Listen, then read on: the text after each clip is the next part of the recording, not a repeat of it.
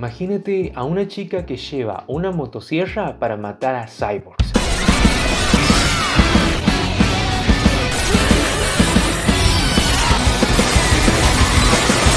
Por eso hoy, a pedido de nadie, la chica de la motosierra. Todo comienza con Giko, una estudiante que va a hacer un examen de maquillaje, pero en el camino choca con una chica y entonces aparecen estos tipos y la otra chica se levanta y le dicen que ella es su enemiga. Y Giko, la chica de la motosierra, saca su motosierra y comienza la primer pelea.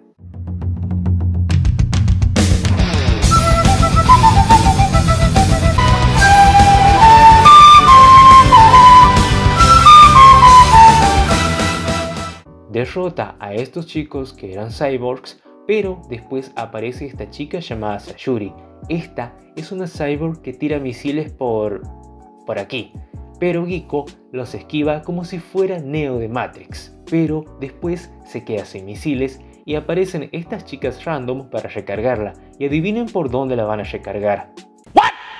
Por lo que la protagonista golpea a las chicas y deja inconsciente a Sayuri y se caga de risa, pero luego llega un ninja, pero como a Giko le daba paja pelear, se va. Llega hasta la escuela y no hay nadie, por lo que se sienta y aparece un cyborg que le da comida. En eso, ella recuerda a Nero, su compañera que se volvió mala, porque un día llevó un gato que era mascota de una compañera convertida en cyborg, por lo que los demás decidieron echarla. Entonces, ella juró vengarse y convertir a todos en cyborg. Giko se va, y encuentra a su profesor y le pide el examen, pero en eso aparece de nuevo el ninja del principio llamado Hanzo, por lo que se arma una pelea.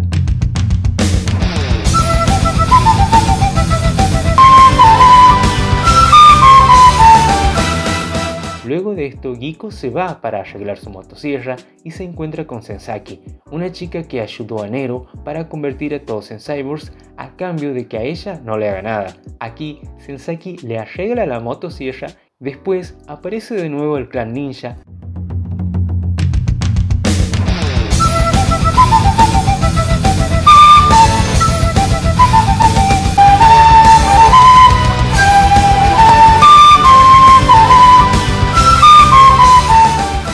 y ahora les empieza a disparar con la motosierra.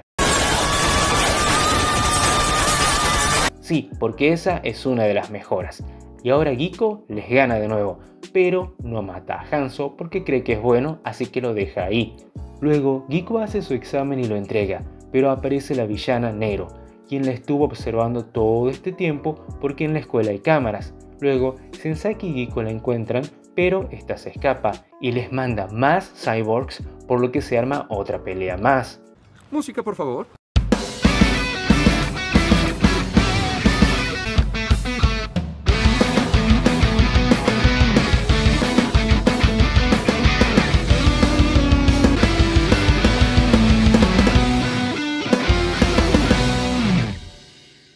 Al final, Giku y Nero se encuentran y Nero saca un arma hecha con personas, por lo que técnicamente su arma tiene vida propia, y aquí ya van a pelear, pero en eso aparece Hanzo para salvar a Giko.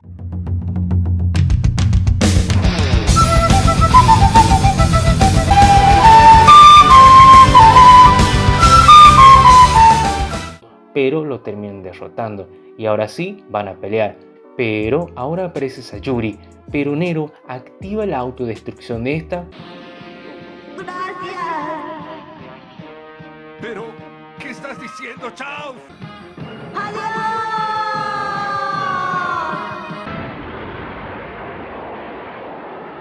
Bueno, lo intentamos. Y ahora sí, comienza la batalla final, pero el arma de Nero dice, nah, no quiero ser malo, ahora soy bueno. Y Giko mata a Nero con su motosierra. Y al final Giko se va de la escuela y alguien que supongo que es su hermano o algo, la fue a buscar. Fin. Dejen su like y activen la campanita para no perderse ningún video y nos vemos en la próxima peli. Obvio. Obvio. Obvio.